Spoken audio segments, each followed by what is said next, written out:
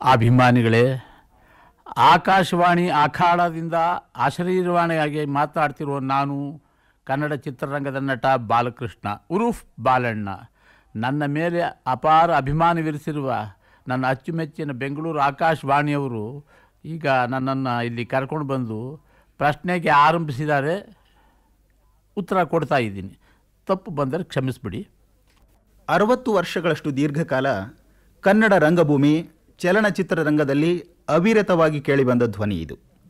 ಬರೀ ಧ್ವನಿಯಲ್ಲ ವಿಶಿಷ್ಟ ರೀತಿಯ ಅಭಿನಯದ ಮೂಲಕ ಕನ್ನಡ ಜನತೆಯನ್ನ ರಂಜಿಸಿದ ಕಲಾವಿದರಾಗಿಯೂ ಅವರು ಸುಪರಿಚಿತರಾಗಿದ್ದಾರೆ. ಹಾಸ್ಯ ಪಾತ್ರಗಳೇ ಪ್ರಧಾನವಾಗಿದ್ದರೂ ದೊರಕಿದ ಎಂಥ ಪಾತ್ರಕ್ಕೂ ತಮ್ಮ ಸಮರ್ಥ ಅಭಿನಯದ ಮೂಲಕ ಜೀವಕಳೆ ತುಂಬಿದ ಶ್ರೀ ಟಿ ಎನ್ ಬಾಲಕೃಷ್ಣ ಅವರು ಇದುವರೆಗೆ ಅಭಿನಯಿಸಿದ ಚಿತ್ರಗಳು ನಾಲ್ಕು ನೂರಕ್ಕೂ ಮಿಗಿಲೆಂದರೆ ಆಶ್ಚರ್ಯವಾಗ್ತದೆ. ವೈವಿಧ್ಯಪೂರ್ಣವಾದ ಪಾತ್ರಗಳನ್ನು ವಿಶಿಷ್ಟ ರೀತಿಯಲ್ಲಿ ಅಭಿನಯಿಸಿ ಕನ್ನಡಿಗರ ಮನಗೆದ್ದ ಈ ಬಾಲಣ್ಣನಿಗೆ ದೊರೆತ ಪ್ರಶಸ್ತಿಗಳು ಹಲವು ಹತ್ತು. ಇವೆಲ್ಲಕ್ಕೂ ಹಿರಿದಾದ ಪ್ರಶಸ್ತಿ ಅವರಿಗೆ ಇತ್ತೀಚೆಗೆ ದೊರಕಿದೆ. ಅದು ಕರ್ನಾಟಕ ಸರ್ಕಾರದ ಪುಟ್ಟಣ್ಣ ಕಣಗಾಲ್ ಪ್ರಶಸ್ತಿ. ಈ ಸಂದರ್ಭದಲ್ಲಿ ಅವರೊಡನೆ ಒಂದಿಷ್ಟು ರಸ ನಿಮಿಷಗಳನ್ನು ಕಳೆಯೋಣ. ನಮಸ್ಕಾರ ಶ್ರೀ ಟಿ ಎನ್ ಬಾಲಕೃಷ್ಣ ಅವರೇ. ನಮಸ್ಕಾರ. ನಮ್ಮ ಶ್ರೋತೃಗಳೆಲ್ಲರ ಪರವಾಗಿ ಪುಟ್ಟಣ್ಣ ಕಣಗಾಲ್ ಪ್ರಶಸ್ತಿ ಪಡೆದ ನಿಮಗೆ ಶುಭಾಶಯಗಳು. ಶ್ರೋತೃಗಳಿಗೂ ನಿಮಗೂ ನನ್ನ ಶುಭಾಶಯಗಳು ಸ್ವಾಮಿ. ಶ್ರೀ ಬಾಲಕೃಷ್ಣ ಅವರೇ ನಿಮ್ಮ ಕಲಾವಿದ ವ್ಯಕ್ತಿತ್ವ ರೂಪುಗೊಂಡದ್ದು ಕಂಪನಿ ನಾಟಕಗಳ ಮೂಲಕ ಅಲ್ವೇ? ನೀವು ಮೊದಲು ಆ ರಂಗಕ್ಕೆ ಹೇಗೆ ಬಂದ್ರಿ ಮತ್ತು ನೇರವಾಗಿ ನಾಟಕಗಳಲ್ಲಿ ಪಾತ್ರ ವಹಿಸಿದ್ರೋ ಅಥವಾ ನಾಟಕದ ಬೇರೆ ಬೇರೆ ಆಯಾಮಗಳಲ್ಲಿ ಕೆಲಸ ಮಾಡಿದ್ರೋ? ನನ್ನ ಹದಿನಾಲ್ಕನೇ ವರ್ಷದಲ್ಲಿ ಅರಸೀಕೆರೆಯಲ್ಲಿ ಅಲೆದಾಡುತ್ತಾ ಇದ್ದಾಗ ಅಲ್ಲಿ ಬೋರ್ಡ್ ಬರೀತಿರೋದವ್ರನ್ನ ನೋಡಿ ಸ್ವಲ್ಪ ಪೇಂಟಿಂಗ್ ಕಲ್ತ್ಕೊಂಡೆ. ಅದರಿಂದ ನಾನೇ ಸ್ವಂತವಾಗಿ ಪೇಂಟಿಂಗ್ ಕೆಲಸ ಮಾಡೋಕ್ಕೆ ಆರಂಭಿಸ್ಬಿಟ್ಟೆ. ಅದೇ ನನ್ನ ಜೀವನಕ್ಕೆ ದಾರಿ ಆಯಿತು. ಆನಂತರ ನಾಟ, ಆಗಾಗ ಅರಸೀಕೆರೆಗೆ ಬರುತ್ತಿದ್ದ ನಾಟದ ಕಂಪ್ನಿಗಳಲ್ಲಿ ನಾಟಕಗಳನ್ನ ನೋಡ್ತಾ ಇದ್ದೆ. ಅದೊಂದು ಗೀಳು ಹತ್ಕೊಂಡ್ತು. ಆಮೇಲೆ ಏನಾದರೂ ಮಾಡಿ ನಾಟಕದ ಕಂಪ್ನಿಗಾದರೂ ಸೇರ್ಕೋಬೇಕು ಅಂತ ಅಂದ್ಬಿಟ್ಟು ಪ್ರಯತ್ನ ಪಟ್ಟೆ ನನ್ನ ಅರಸೀಕೆರೆಯಲ್ಲಿ ಇದ್ದ ಗೆಳೆಯರೆಲ್ಲ ಸೇರಿ ಚಂದ ಹಾಕಿ ನನ್ನನ್ನು ಮೈಸೂರಿಗೆ ಕಳಿಸ್ಕೊಟ್ರು. ಅಲ್ಲೊಂದು ಗೌರಿಶಂಕರ್ ನಾಟಕ ಸಭಾ ಅಂತ ದೊಡ್ಡ ನಾಟಕ ಕಂಪ್ನಿ ಇತ್ತು. ಅಲ್ಲಿ ಸೇರಿಕೊಂಡು ಮುಂದಿನ ಭವಿಷ್ಯ ನೋಡ್ಕೊಳ್ಳಪ್ಪ ಅಂತ ಮೈಸೂರಿಗೆ ಒಂದು ಟಿಕೆಟ್ ಕೊಡಿಸಿ ಕೈಗೊಂದು ಎಂಟಾಣಿ ಕೊಟ್ಟು ಕಳಿಸಿದ್ರು. ಮೈಸೂರಿಗೆ ಬಂದು ಸೇರಿಕೊಂಡೆ. ಆದ ಮುನ್ನ ಇಲ್ಲಿ ಅರಸೀಕೆರೆಯಲ್ಲೇ ಒಂದು ಪಟ, ಗಿರಿಗೌಡ್ರ ಕಂಪ್ನಿ ಅಂತ ಒಂದು ನಾಟಕ ಕಂಪ್ನಿ ಬಂದಿತ್ತು. ಅಲ್ಲಿ ಸ್ವಲ್ಪ ದಿವಸ ಅಲ್ಲಿ ದುಡ್ದೆ ಗೇಟ್ ಕೀಪರ್ ಆಗಿ ಚಿಲ್ಲರೆ ಪಾರ್ಟ್ ಮಾಡಿಕೊಂಡು ಇದೆ ಅಲ್ಲೇನು ಹೆಚ್ಚಿನ ದಿವಸ ಅದು ದೊಡ್ಡ ಕಂಪ್ನಿ ಅಲ್ಲವಾದ್ರಿಂದ ಎಂಟನೇ ದಿವಸಕ್ಕೆ ಬಾಗಿಲು ಮುಚ್ಚಿಬಿಡ್ತು. ಆನಂತರ ನಾನು ಮೈಸೂರಿಗೆ ಬಂದಿದ್ದು. ಅಲ್ಲಿ ಗೌರಿಶಂಕರ್ ನಾಟಕ ಸಭೆಯಲ್ಲಿ ಸೇರಿಕೊಂಡೆ. ಅಲ್ಲಿ ಗೇಟ್ ಕೀಪರ್ ಕೆಲಸ, ಎರಡು ರಾಣಿ ಅವ್ರು ಕೊಡೋ ದಿನ ಟಿಫನ್ಗೆ ನೋಟಿಸ್ಗಳನ್ನ ಮನೆ ಮನೆ ಹಂಚೋದು. ಆನಂತರ ರಾತ್ರಿ ಹೊತ್ತು ಗೇಟ್ ಕಾಯೋದು. ಇದನ್ನೆಲ್ಲ ನಾಟಕ ಕಂಪ್ನಿ ಮಾಲೀಕರಿಗೆ ಚೆನ್ನಾಗಿ ಗಮನಿಸ್ತಾ ಇದ್ರು. ಅವರಿಗೆ ನನ್ನ ಮೇಲೆ ಅಭಿಮಾನವಿತ್ತು. ಅವ್ರ ಮನೆಗೆ ಹೋಗಿ ಒಂದು ದಿವಸ ಕಣ್ಣೀರು ಬಿಟ್ಕೊಂಡು ಗೋಳಾಡಿದೆ, ನನಗೆ ಪಾಠ ಮಾಡಬೇಕು ಸ್ವಾಮಿ, ನನಗೆ ಅವಕಾಶ ಕೊಡಿಸಿ ಅಂತಂದ್ಬಿಟ್ಟು ಆಗ್ಲಪ್ಪ ಸಮಯ ಬರ್ತದೆ, ಕಾಯ್ತಾ ಇರು, ಸ್ವಲ್ಪ ತಡ್ಕೊ ಅಂತ ಅವ್ರು ಸಮಾಧಾನ ಹೇಳ್ತಾ ಇದ್ರು. ಆನಂತರ ತರೀಕೆರೆ ಕ್ಯಾಂಪ್ ಹೋಯಿತು, ಈ ನಾಟಕ ಕಂಪ್ನಿ. ಹಾಗಾಗಿ ಚಾಮರಾಜನಗರ, ಗುಂಡ್ಲುಪೇಟೆ ಇಲ್ಲೆಲ್ಲ ಸುತ್ತಾಕೊಂಡು, ಚ, ತರೀಕೆರೆಗೆ ಹೋದಾಗ ಕಂಪ್ನಿಲಿ ಸರಿಯಾಗಿ ಕಲೆಕ್ಷನ್ ಆಗದೇ ಇದ್ದಿದ್ದರಿಂದ, ಸರಿಯಾಗಿ ಸಂಬಳಗಳು ಕೊಡದೇ ಇದ್ದಿದ್ದರಿಂದ ಕೆಲವು ನಟರೆಲ್ಲ ದಿಢೀರ್ ಅಂತ ಕೈ ಬಿಟ್ಬಿಟ್ರು. ಆ ಟೈಮ್ನಲ್ಲಿ ನನಗೆ ಹಾಸ್ಯ ಪಾತ್ರದ ಒಂದು ಅವಕಾಶ ಸಿಕ್ತು. ಅದರಲ್ಲಿ ಮ- ನಮ್ಮ ಹಿರಣ್ಣಯ್ಯನವರು ಮಾಸ್ಟರ್ ಹಿರಣ್ಣಯ್ಯನವರು ತಂದೆ ಹಿರಣ್ಣಯ್ಯನವ್ರ ಜೊತೆಯಲ್ಲೇ ನಾನು ಅಭಿನಯಿಸಬೇಕಾ, ಪ್ರ- ಪ್ರಥಮದಲ್ಲಿ ಅಭಿನಯಿಸಬೇಕಾಗಿಂಥ ಒಂದು ಯೋಗ ಬಂತು. ಅಂದರೆ ರಾಷ್ಟ್ರವೀರ ಅಂತ ಎಚ್ ಎಂ ನಾಯ್ಕ ಪಾರ್ಟ್, ಪ, ನಾಟಕದಲ್ಲಿ ಅವರು ಖಾನ್ ಸಿದ್ಧಾಂತಿ ನಾನು ಬುಡಾನ್ ಶಾಸ್ತ್ರಿ, ಧೈರ್ಯವಾಗಿ ಮಾಡಿದೆ. ಮಾಡಿದ ತಕ್ಷಣ ಒಳಗಡೆ ಬಂದ ತಕ್ಷಣ ಹಿರಣ್ಣಯ್ಯನವ್ರು ಬೆನ್ನು ತಟ್ಟಿ, ನಿನ್ನ ಮಾತಿನಲ್ಲಿ ಸ್ವಲ್ಪ ಆಸ, ಅದ ಆಭಾಸ ಇದೆ, ಒತ್ತಕ್ಷರಗಳು, ದೀರ್ಘಾಕ್ಷರಗಳು, ಇದನ್ನು ನೀನು ತಿದ್ದುಕೊಂಡು ಬಿಟ್ಟರೆ ಒಳ್ಳೆಯದಪ್ಪ ಅಂತ ಹೇಳಿದ್ರು. ಅವರ ಆಶೀರ್ವಾದ ಆವತ್ತಿನಿಂದ ನಾನು ನಾ ಅನೇಕ ನಾಟಕದ ಕಂಪ್ನಿಗಳಿಂದ ಯಾಕೆಂದ್ರೆ ನಾಟಕದ ಕಂಪ್ನಿಗಳು ಯಾವುದು ಚಿರಂಜೀವಿ ಅಲ್ವಲ್ಲ?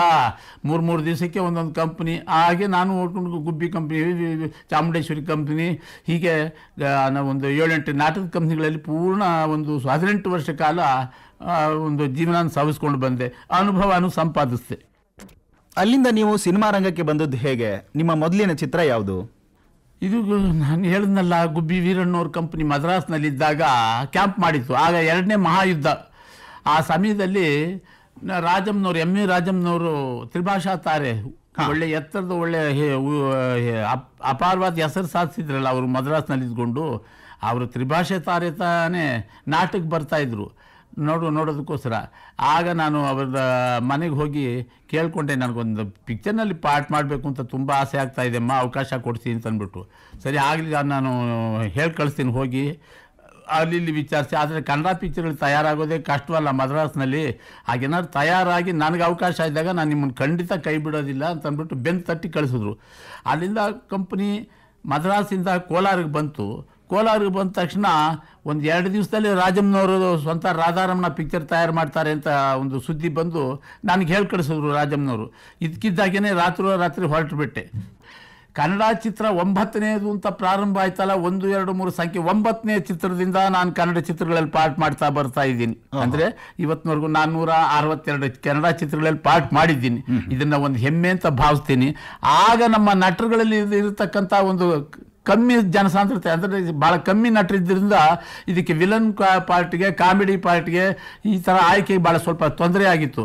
ಅದಕ್ಕೆ ನರಸಿಂಹರಾಜು ಅವರಿಗೆ ಹಾಸ್ಯ ಪಾತ್ರ ಆಯಿತು, ನನಗೆ ಖಳನಾಯಕನ ಪಾತ್ರಗಳಾಯಿತು. ಈ ಥರದಲ್ಲಿ ಒಂದೊಂದು ಸರಿ ಅವ್ರು ಖಳನಾಯಕನ ಪಾತ್ರ ಮಾಡಿದಾಗ ನಾನು ಹಾಸ್ಯ ಪಾತ್ರ ಮಾಡ್ತಾ ಇದ್ದೆ. ಹೀಗೆ ನಾವಿಬ್ಬರೂ ಅದರಲ್ಲಿ ಇರ್ತಕ್ಕಂಥ ಆಗಿನ ಸಂದರ್ಭದಲ್ಲಿ, ಆಗಿನ ಕಾಲಾವಕಾಶದಲ್ಲಿ ಹಂಚ್ಕೊಂಡು ಬಂದ್ಬಿಟ್ಟು ಪಾರ್ಟನ್ನು.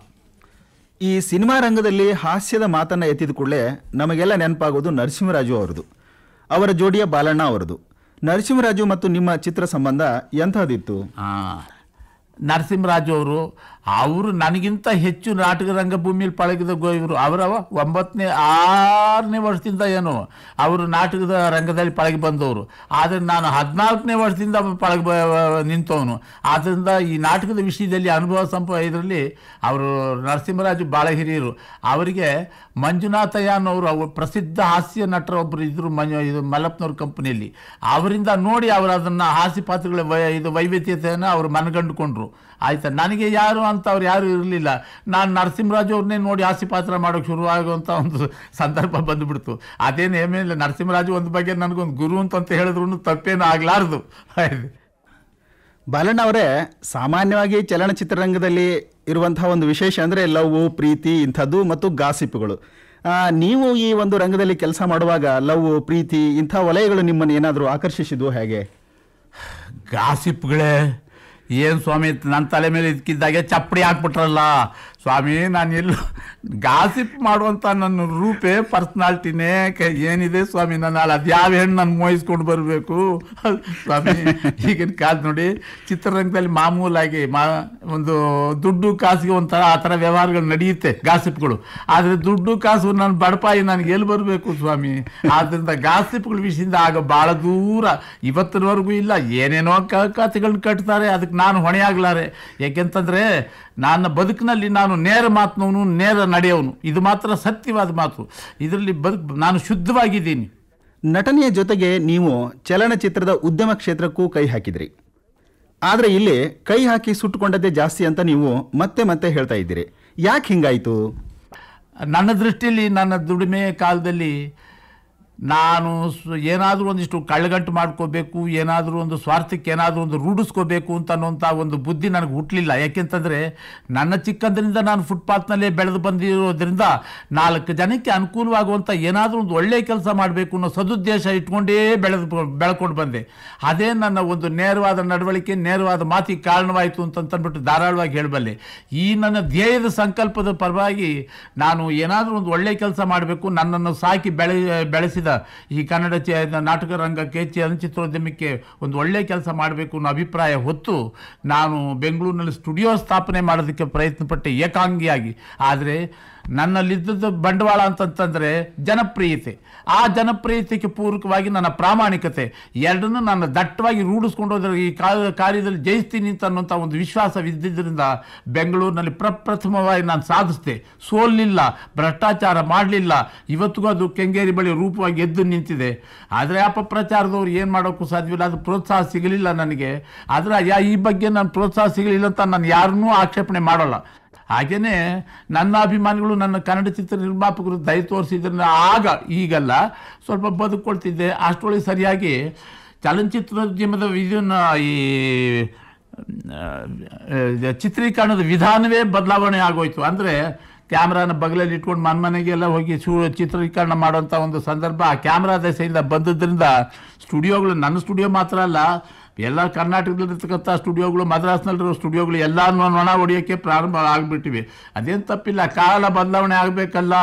ಹಾಗೆ ಆಗಿದೆ, ಅದರಿಂದ ಏನು ತಪ್ಪೇನಿಲ್ಲ ಈ ಬೆಳ್ಳಿತೆರೆಯ ಬದುಕಿಗೂ, ವಾಸ್ತವ ಬದುಕಿಗೂ ಎಂಥ ಸಂಬಂಧ ಇರ್ತದೆ ಅನ್ನೋದನ್ನು ನಿಮ್ಮ ಅನುಭವದ ಹಿನ್ನೆಲೆಯಲ್ಲಿ ಹೇಳ್ತೀರಾ?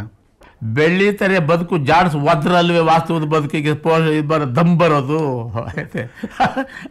ಅಲ್ಲಿ ಹು- ಅಲ್ಲಿ ಹುಟ್ಟಿಸ್ಕೋಬೇಕು ಇಲ್ಲಿ ಇಲ್ಲಿ ತೂತು ಗಿಟ್ಟಿಸ್ಕೋಬೇಕು. ಈ ಥರ ಸಂಬಂಧ ಅಲ್ವೇ ಸ್ವಾಮಿ. ಅದಕ್ಕೋಸ್ಕರ ಅಲ್ಲಿ ಏನಕ್ಕೆ ಕೃತ್ರಿಮವಾಗಿ ನಟಿಸ್ಬೇಕು ಅದು ನಟಿಸ್ಬೇಕು ಇಲ್ಲಿ ಜೀವನ ಸಹಜವಾದ ಜೀವನ ಇಲ್ಲಿ ತುತ್ತಿನ ಜೀವನ ಸಾಗಬೇಕು. ಇದು ನನ್ನ ಅಭಿಪ್ರಾಯ. ನಿಮಗೆ ಹಲವಾರು ಪ್ರಶಸ್ತಿಗಳು ಬಂದಿವೆ. ಈಗ ಪುಟ್ಟಣ್ಣ ಕಣಗಾಲ್ ಪ್ರಶಸ್ತಿ ಕೂಡ ಬಂದಿದೆ. ಈ ಪ್ರಶಸ್ತಿಗಳು ಯಾರಿಗಾದರೂ ಸಂತೋಷ ನೀಡುವುದು ಸಹಜನೇ. ಆದರೆ ಒಬ್ಬ ಕಲಾವಿದನ ನಿಜವಾದ ಪ್ರತಿಭೆಯನ್ನು ಈ ಪ್ರಶಸ್ತಿಗಳು ಅಳೆಯಲು ಮಾನದಂಡ ಆಗಬಹುದು ಅಂತ ನಿಮ್ಗೆ ಅನಿಸ್ತದೇನೋ ಹಾಗೆ? ಕರ್ತವ್ಯದಲ್ಲಿ ಏನಾದರೂ ಒಂದು ಹೆಚ್ಚುಗಾರಿಕೆ ಬೇಕಲ್ವೇ?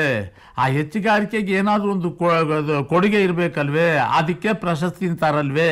ಅದಾಗ ನೋಡಕ್ ಹೋಯ್ತು ಅಂತಂದ್ರೆ ಪ್ರಶಸ್ತಿಗಳಿಂದ ಒಬ್ಬ ಮನುಷ್ಯನ ವ್ಯಕ್ತಿತ್ವನ ಒಂದು ಉದ್ದ ಉದ್ಯಮದ ಒಂದು ಇದು ಇದನ್ನು ಅಳಿಯೋಕ್ಕಾಗೋದಿಲ್ಲ ಮಾನದಂಡ ಆಗಲಾರದು. ನನಗೆ ಪ್ರಶಸ್ತಿಗಿಂತ ಬದುಕಿಗೆ ಏನಾದರೂ ಒಂದು ಒಂದು ಅನು ಪೂರಕವಾದಂಥ ಒಂದು ಏನಾದರೂ ಅನುಕೂಲ ಆದರೆ ಅದಕ್ಕೆ ನಾನು ಸಂತೋಷ ಪಡ್ತೀನಿ ಆದರೆ ಅದು ಒಂದು ದಾನವಾಗಿರಬಾರ್ದು ಧರ್ಮವಾಗಿರಬಾರ್ದು. ನನ್ನ ಸ್ವಪ್ರಯತ್ನ ಸಾಮರ್ಥ್ಯಕ್ಕೆ ದೊರಕುವಂಥ ಒಂದು ಕೊಡುಗೆ ಆಗಿರಬೇಕು. ಕನ್ನಡ ಜನತೆ ನಿಮ್ಮ ಬಗೆಗೆ ಇಟ್ಟುಕೊಂಡಿರುವಂತಹ ಪ್ರೀತಿ ವಿಶ್ವಾಸ ಅಗಾಧವಾದವುಗಳು. ಈ ಸಂದರ್ಭದಲ್ಲಿ ನೀವು ನಮ್ಮ ಕೇಳುಗರ ಈ ಪ್ರೀತಿ ವಿಶ್ವಾಸಗಳಿಗೆ ಪ್ರತಿಯಾಗಿ ಏನಾದರೂ ಹೇಳಲು ಬಯಸ್ತೀರಾ? ನಮ್ಮ ಕನ್ನಡ ಕೇಳುಗರಿಗೆ ಅಭಿಮಾನಿಗಳಿಗೆ ನನ್ನ ಅನಂತ ಅನಂತ ನಮಸ್ಕಾರವನ್ನು ಅರ್ಪಿಸಿ ನನಗೆ ನಾನೇ ಹೆಮ್ಮೆ ಪಟ್ಕೊಳ್ತೀನಿ ಬಾಲಣ್ಣವರೇ, ಈವರೆಗೆ ನೀವು ನಾವು ಕೇಳಿದಂಥ ಹಲವಾರು ಪ್ರಶ್ನೆಗಳಿಗೆ ತುಂಬ ಪ್ರೀತಿ, ವಿಶ್ವಾಸದಿಂದ, ಆತ್ಮೀಯತೆಯಿಂದ ಉತ್ತರಿಸಿದಿರಿ. ಎಂಬತ್ತರ ಈ ಗಡುವಿನಲ್ಲೂ ಇನ್ನೂ ಹದಿನಾರು, ಹದಿನೆಂಟರ ತರುಣನಂತೆ ಅತ್ಯಂತ ಉತ್ಸಾಹದಿಂದ ನೀವು ಓಡಾಡ್ತಾ ಇದ್ದೀರಿ ಹಾಗೂ ಚಲನಚಿತ್ರಗಳಲ್ಲಿ ಅಭಿನಯಿಸ್ತಾ ಇದ್ದೀರಿ. ಈ ಒಂದು ಅಭಿನಯ ಇನ್ನೂ ನಿರಂತರವಾಗಿ ನಡೆದು, ನೀವು ಇನ್ನೂ ಹಲವಾರು ಪ್ರಶಸ್ತಿಗಳನ್ನು ಪಡೆದು ಕನ್ನಡಿಗರಿಗೆ ಹೆಮ್ಮೆಯನ್ನು ಉಂಟು ಮಾಡುವಂತಹ ಸಂದರ್ಭ ಬರಲಿ ಅಂತ ಹಾರೈಸ್ತೀನಿ. ನಮಸ್ಕಾರ. ನಮಸ್ಕಾರ ನಮಸ್ಕಾರ ಸ್ವಾಮಿ, ನಮಸ್ಕಾರ.